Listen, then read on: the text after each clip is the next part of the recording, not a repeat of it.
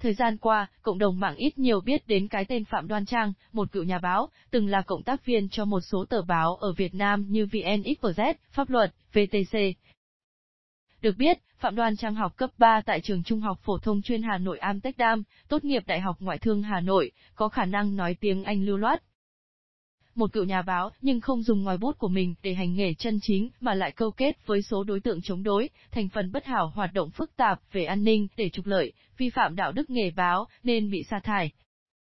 Sợ bị bắt nên bám càng tổ chức khủng bố Việt Tân trốn ra hải ngoại, khi thấy yên ổn lại mò về Việt Nam đóng vai người bất đồng chính kiến, tác giả của vô số bài viết vô căn cứ, lệch lạc, xuyên tạc về dân chủ, nhân quyền ở Việt Nam để chống đối đảng, nhà nước, được sự tài trợ, cổ suý của Việt Tân và số ảo tưởng chính trị ở bên ngoài, Trang nổi lên là một trong những đối tượng cầm đầu nhóm mạng lưới blogger Việt Nam, tham gia thành viên tổ chức Voi, một tổ chức ngoại vi của tổ chức khủng bố Việt Tân. Thường xuyên cấu kết với các phần tử chống đối, phản động trong và ngoài nước, các hội, nhóm chống đối, thường xuyên đăng tải các bài viết lên trang cá nhân, sử dụng chiêu trò phản biện xã hội để thể hiện chính kiến trước những sự kiện chính trị, xã hội của đất nước, các vấn đề đang được xã hội quan tâm, nhưng thực chất là lợi dụng để xuyên tạc chủ trương, đường lối của Đảng, chính sách pháp luật của nhà nước, kích động, cổ suý các hành vi chống đối, biểu tình.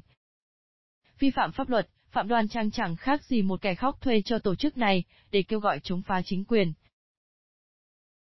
Gần đây, Trang chuyển hướng sang viết sách, với những thông tin chính trị lượm lặt từ vỉa hè cùng với sự tưởng tượng của mình, thị đã sáng tạo ra một số cuốn sách điển hình như cuốn chính trị bình dân, phản kháng phi bạo lực, cầm nang nuôi tù. Nội dung sách này chủ yếu sử dụng những thông tin có tính xuyên tạc, bịa đặt, méo mó, từ ngữ có tính kích động người đọc theo hướng tiêu cực, nhưng lại được các tổ chức phản động và đám dân chủ bên ngoài tung hô quảng bá ẩm ý, rình rang.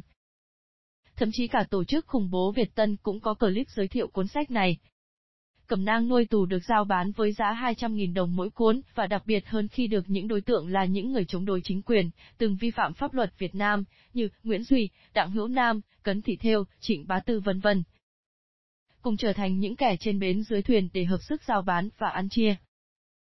Phạm Đoan Trang viết, phát tán các cuốn sách trên có nhiều mục đích, trước tiên việc xuất bản sẽ giúp Trang có được một khoản tiền kể cả khi không bán được sách bởi các tổ chức phản động lưu vong sẽ hỗ trợ cho Trang khoản này